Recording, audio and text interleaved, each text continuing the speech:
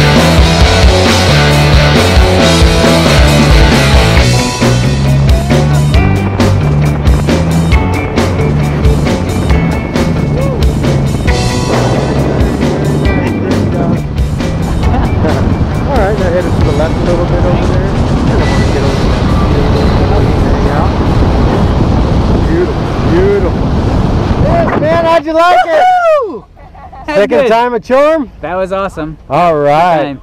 Would you do it again and again and again? Oh again? yeah, if I was here, I would do it all the time. All righty, bud. Well, thanks for jumping with us today. Thank you. All right.